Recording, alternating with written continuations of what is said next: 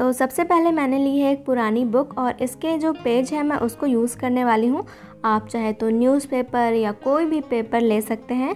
तो अब मैंने इसमें से एक पीस कट कर लिया है और इसका मैं एक रिफ़िल की हेल्प से रोल कर लूँगी और इसका एक पेपर स्ट्रॉ बना लूँगी। कुछ इस तरीके से। लास्ट में हम इसको स्टिक कर देंगे। तो कुछ इस तरीके से हमारा एक पेपर स्ट्रॉ बन के रेडी है। अब इसी तरह से मैंने टोटल 11 स्ट्रॉज बना के रेडी कर लिए हैं। तो अब मैं इन्हें ज्वाइन करना स्टार्ट करूँगी और हम इसे कुछ इस तरीके से ज्वाइन करेंगे कि एच ओ एम ई ये चार लेटर्स बन जाएँ। तो सबसे पहले मैंने दो स्ट्रॉस को एक साथ अटैच कर दिया है, जिससे कि एक लंबी सी स्ट्रॉ बन गई है। अब इसके साथ मैं एक और स्ट्रॉ इसके बगल में रख रही हूँ और बीच में इन दोनों को एक तीसरी स्ट्रॉ से जोड़ दे रही हूँ, जिससे कि हमारा एच का शेप बन जाएगा। और इन सारी चीज़ों को पेस्ट करने के लिए मैंने यहाँ पे फेविकॉल का यूज़ किया है। और फेविकॉल से बहुत ही अच्छे से स्टिक हो जाएगा। सो आपको डरने की ज़रूरत नहीं है कि ये बाद में हिलेगा या अपनी जगह से इधर उधर भागेगा। तो मैंने भी इसको फेविकॉल से स्टिक किया था फेविकॉल एसेट से। और आप देख सकते हैं कि ड्राई होने के बाद ये बिल्कुल अच्छे तरीके से फिक्स हो गया है। अब यहाँ पे मैंने एच और एम दो लेटर्स बना के इनको आपस में कुछ इस तरीके से स्टिक किया है। अब हम बना रहे हैं e, तो ई e के लिए सिंपली मैंने यहाँ पे कुछ चार स्ट्रॉज ली हैं और ई e के शेप में इसको आपस में स्टिक कर दिया है। और इसको हम ड्राई होने के लिए रख देंगे, तब तक हम ओ बना लेते हैं। तो ओ बनाने के लिए मैंने यहाँ पे यूज़ किया है एक पतला सा वायर अब आप चाहें तो पेपर से ही ओ का शेप बना सकते हैं, बस आपको एक सर्कल बनाना है। बट अगर आप पेपर से बनाएँगे तो इतना क्लीन वो सर्कल नहीं आएगा, क्योंकि पेपर इतना ज़्यादा लचीला नहीं होता है।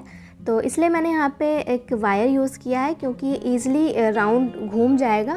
तो इस तरीके से पहले मैंने इसको स्टिक कर लिया है सेलो टेप की हेल्प से और बाद में मैंने जो बीच बीच में स्पेस थी वहाँ पे सिलिकॉन ग्लू अप्लाई कर दिया। उसके बाद जब वो ड्राई हो गया तो सारे टेप्स को रिमूव कर दिया जिससे कि इसका शेप अच्छे से फिक्स हो गया है। तो अब हमारे सारे लेटर्स रेडी हैं और अब मैं इसको प्लेस कर रही हूँ। तो कुछ इस तरीके से हमें इन सारे लेटर्स को अरेंज करना है। तो वायर वाला पार्ट हमें जहाँ भी स्टिक करना है, वहाँ पे मैंने सिलिकॉन ग्लू का यूज़ किया है क्योंकि वायर इतनी ईजिली फेविकॉल से स्टिक नहीं होगा। या स्टिक हो भी जाएगा तो बाद में वो छूट जाएगा। तो मैंने सिलिकॉन ग्लू का यूज़ किया है, बट आप चाहें तो बाहर से पाँच रुपये वाला फेवी स्टिक भी ले सकते हैं। सॉरी, फेविक्विक भी ले सकते हैं और उससे स्टिक कर सकते हैं। तो कुछ इस तरीके से हमने इसको रेडी कर लिया है। अब बारी है इसको पेंट करने की। तो सिंपली मैंने इसको बस एक ब्लैक एक्रेलिक कलर लिया और उससे पेंट कर दिया। और ये रहा इसका फाइनल लुक लग रहा है ना बिल्कुल ख़रीदा हुआ।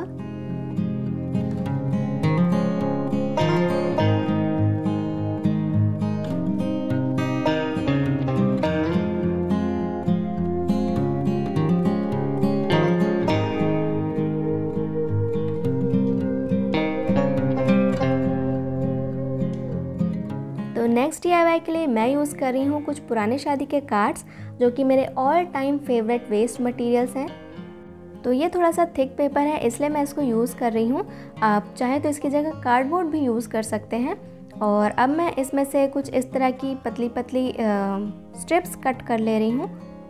इसकी विथ मैंने रखी है 4.5 सेंटीमीटर्स बट ये इतना मैटर नहीं करता। आप किसी भी साइज़ का इसको कट कर लीजिए और इसको दोनों साइड से मैं पीछे की साइड फोल्ड कर दे रही हूँ। तो अब हम इसे अंदर की तरफ़ स्टिक कर देंगे। बट क्योंकि ये पेपर थोड़ा मोटा है तो इतनी ईजिली ये स्टिक नहीं होगा, इसलिए मैं इसमें छोटे छोटे से कट्स लगा दे रही हूँ, जिससे कि ये अंदर की तरफ़ अच्छे से स्टिक हो जाए। तो आज के जितने भी डी हैं, वो मैं अलग अलग मटेरियल्स को यूज़ करके बना रही हूँ, जिससे कि आपके घर का हर वेस्ट मटेरियल किसी न किसी तरीके से यूज़ होता रहे। तो कुछ इस तरीके से मैंने टोटल चार इस तरह के पीसेस बना के रेडी कर लिए हैं।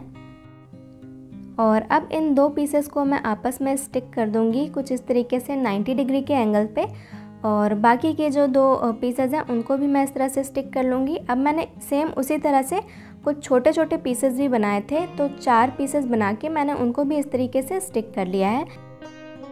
अब आज क्योंकि मैं जो भी डी बना रही हूँ, वो साइज़ में काफ़ी बड़े हैं तो मेरी टेबल के ऊपर सारा शूट नहीं हो पा रहा था क्योंकि टेबल मेरी थोड़ी सी छोटी पड़ रही थी, इसलिए मुझे बार बार यहाँ पे ज़मीन पे सेटअप लगा के इसको यहाँ फ्लोर के ऊपर रख के शूट करना पड़ रहा है। बट मैं कहाँ शूट कर रही हूँ, कैसे शूट कर रही हूँ, वो इतना ज़रूरी नहीं है। जो हम बना रहे हैं, वो अच्छा बनना चाहिए। तो अब मैं इसको ब्लैक कलर से पेंट कर लूँगी क्योंकि मेरा एक्रीलिक कलर ख़त्म हो गया था तो मैंने यहाँ पे चौक पेंट से इसको पेंट किया है। आप कोई भी कलर ले लीजिए और उससे पेंट कर दीजिए। और अब मैंने एक छोटा स्क्वायर पीस लिया है और उसको मैं साइड में कुछ इस तरीके से ब्लैक कलर से पेंट कर दे रही हूँ। अब एक गोल्डन कलर का जो शादी का कार्ड था, मैंने वो ले लिया है और उसमें से कुछ इस तरीके के पीसेस रेडी कर लिए हैं और इससे मैं इसी तरह के स्क्वायर्स बना ले रही हूँ। और इसके ऊपर मैं इसको स्टिक कर दूँगी।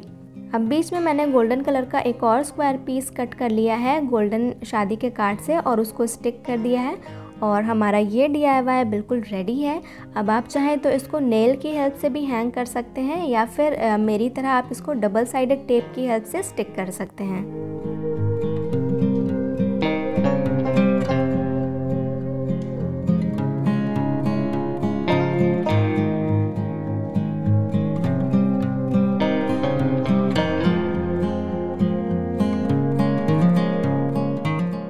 Now moving on to our next D I यहाँ पे मैं एक पेपर ले रही हूँ। मैंने ए फोर साइज़ का एक पेपर ले लिया है। आ, कोई भी पेपर आप ले लीजिए और उस पर मैंने यहाँ पे एक बटरफ्लाई का शेप ड्रॉ कर लिया है।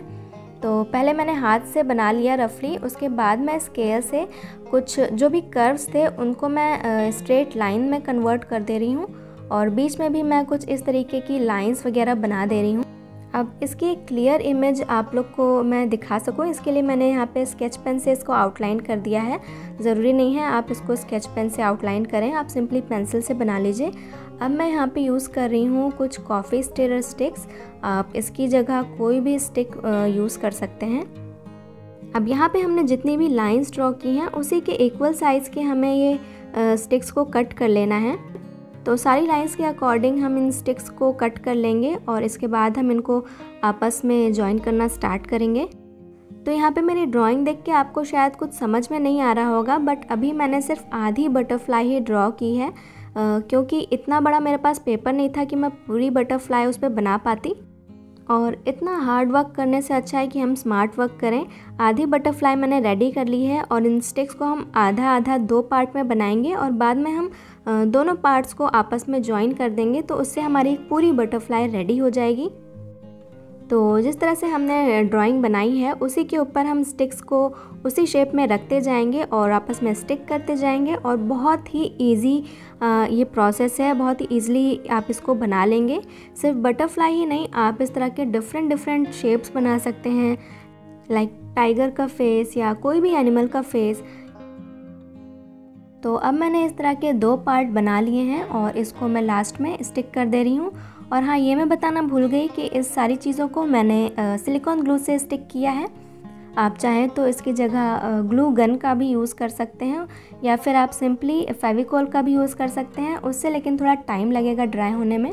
अब मैंने इसको ब्लैक कलर से पेंट कर दिया है। और अभी कल ही मैंने अपने नए चैनल पे पेंट ब्रश गाइड शेयर की है बिगनर्स के लिए।